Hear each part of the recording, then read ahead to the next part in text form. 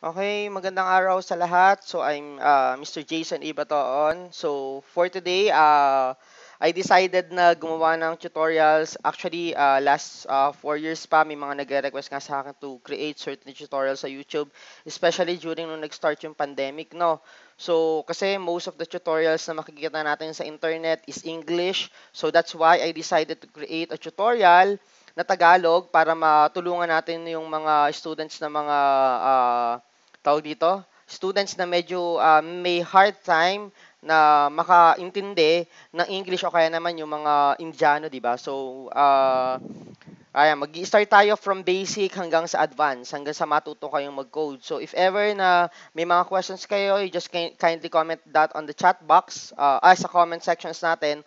Or at the same time, you can uh, still mess also message me on my Facebook account wherein mamaya uh, pwede nyo i-check yung aking Facebook account on my uh, descriptions below. So, sige, start na tayo. No? So, again, uh, these lessons will cover the basic concepts uh, hanggang sa advanced concepts ng C++ programming. So I hope that all of the uh, people here or students na manunood ng tutorial ko somehow will be encouraged na uh, mag-start ng life career nila in terms of programming. So we will start from C++, okay? So meron din akong gagawing mga tutorials about Python, Java, Ayan, so uh, antay na lang kayo sa mga susunod na days. So sige, let's start the tutorials na.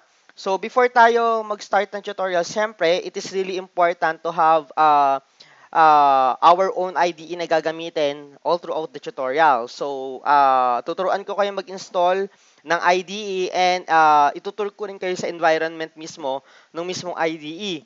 Madalas yung maririnig si IDE kapag uh, pag dito sa every time na kung nag-aaral kayo ng uh, nag-aaral kayo during your college life, madalas nyo siya, often nyo siyang maririnig. IDE stands for Integrated Development Environment.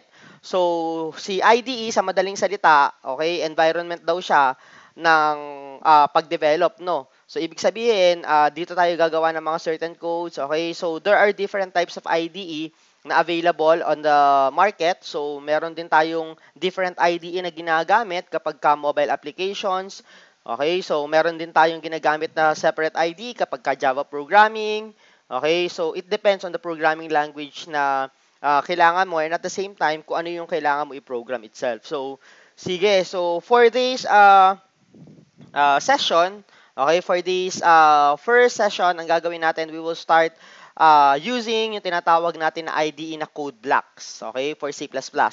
So, if ever na you want to use other uh, IDE, so, pwede rin naman. Meron naman tayong mga free IDE na available on your phone if wala kayong ginagamit na computers or wala kayong ginagamit na laptop. So, meron tayong mga uh, applications, search lang kayo sa Google Play, okay, sa Google Store. Google Store ba yun? Okay, Google Play if uh, App Store, ewan ko ba, okay, basta kung saan mo pwede, search kayo ng, uh, ano, pwede nyo gamitin na IDE for uh, C++. So, marami yan, okay? So, uh, let's dig in. So, start na tayo. So, for today, again, sabi ko, I will be teaching you how to install the code block itself. So, you just simply go to uh, the Google and then ilagay nyo lang download code blocks or you just simply go and visit the www codeblocks.org slash download. So, you will be redirected on their page. Okay, and then click nyo lang yung download the binary release. Okay, so in here, uh, CodeBlocks is available for different operating systems. So, si CodeBlocks, pwede siya for Microsoft Windows, pwede siya for Linux, okay, pwede siya for Mac OS, okay, so, it depends uh, also in your versions if you want to use, uh, if you are using 32-bit, so on and so forth. I will not el- elaborate this uh, part kasi again, ang gusto ko, mag-focus tayo sa programming na ituturo ko sa inyo. Okay, mas mahalaga yon. So anyway, so pwede kayong mamili uh, if you will download it dito sa FOSS or sa source uh, forge.net. So either of the two, pwede naman, madali lang yan. So just simply click kung saan nyo gusto siya. So I'm using 20.3 uh, version of CodeBlocks, no? So, meron na ako installer. So, click nyo lang. If wala pa, you just simply save it. So, mapupunta yun sa file manager nyo. Okay, under ng downloads. Okay. Under and download. So in here, I have uh, the code blocks, no? So right click lang natin and then run lang natin as administrator and then yes, okay? Yan, so minimize ko lang to, baka may mabasa kayong kakaibayan. Then next, okay? And then click lang natin yung agree and then next, okay, install. Uh, hindi ko na pinaliwanag yung part by part. So, uh, if you want to uh, tawag dito, study all of those part dun sa installation progress, you just check other videos and then kindly click lang yung yes. So, automatic yan on the first installation. Okay, finish lang. Yan. So, this is the environment of the code blocks. Minsan, ang itsura niya, naka, walang ganito, walang ganito. Okay, yung nandito sa left side, uh, yun yung tinatawag natin na project manager tab and then ito naman yung sa logs, no. Okay? So, kapag ka may mga errors. So, in here, kapag ka bagong install, ganito yung lalabas. So, click nyo lang tong create a new project. Okay? And then, click nyo lang yung console applications and then go.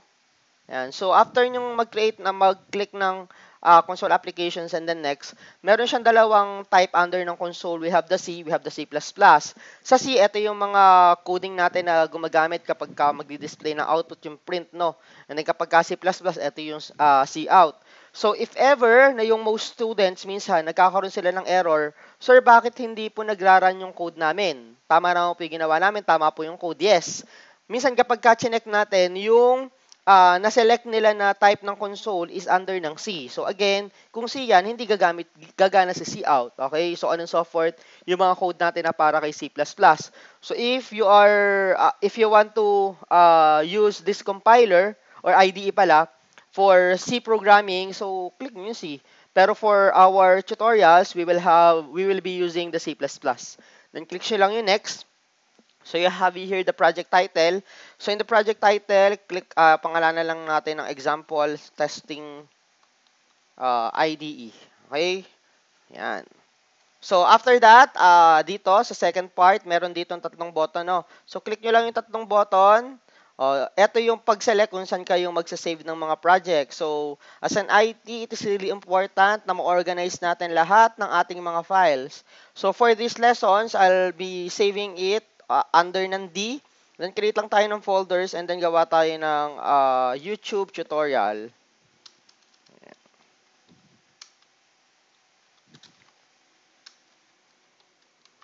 Okay, YouTube tutorials. And na-select lang natin yung folder.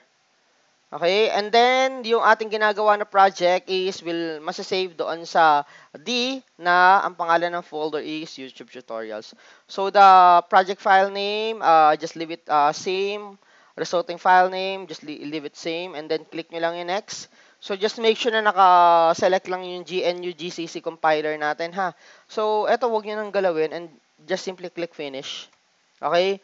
So, again, wala na naman nandito. Sir, asan yung project na create namin? So, kapag ka, if ever, na hindi siya present during the first installation, punta lang kayo ng view, Okay, punta lang kayo ng view and then select nyo lang si manager or just simply uh, click on your uh, keyboard, shift F2 for the shortcut key. So, lalabas na siya dito. So, just make sure lang din na under siya ng resource, uh, ay wala siya sa resources, okay? Just make sure lang din na nakaselect siya sa, uh, what you call this one? Uh, nakaselect siya ng project tab, okay? So, if ever na nakaselect na sa project tab, makikita nyo that the project na kininiit natin na testing ID is nandito. Okay, i-collapse nyo lang yung source. Okay, lalabas tong main. Okay, so uh, double-click nyo lang yan and then you will be redirected na dito.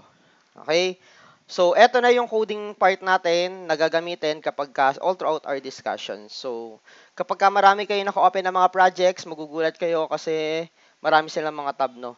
So, uh, kapag ka nalilito, just simply click lang yung project and then collapse lang yung sources.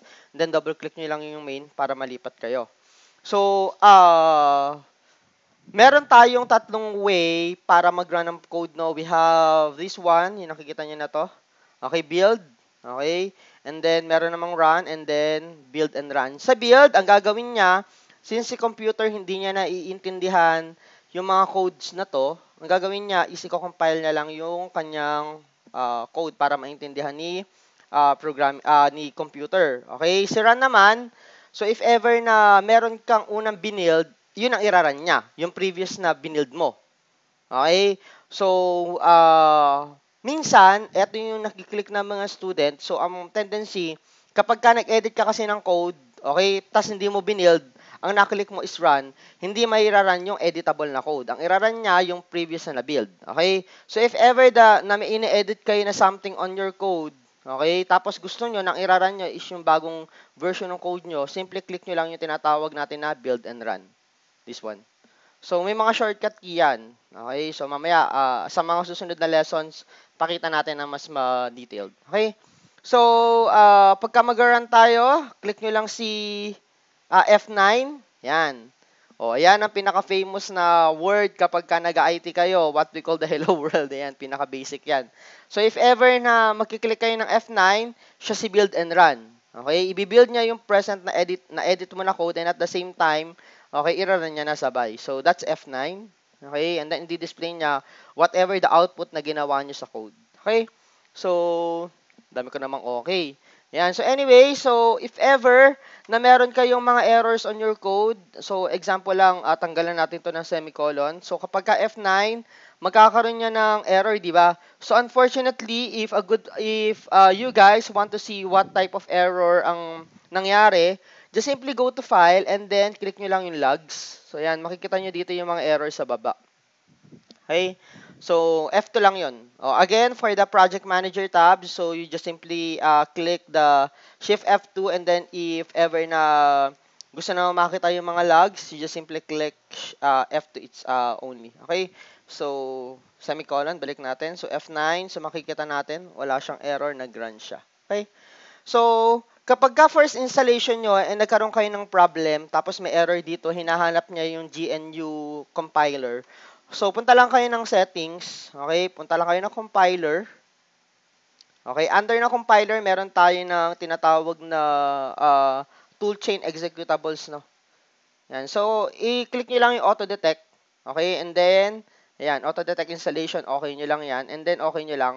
So, somehow, kapag ka may error na hinahanap na GNU compiler, so, uh, gawin nyo lang yung part na to, settings, and then, uh, compiler.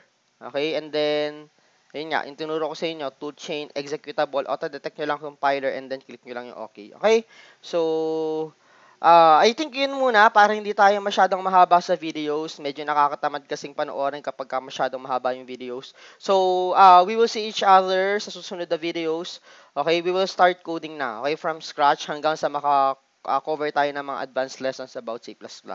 Okay, that will be all for this play uh, uh, videos. Thank you, everyone.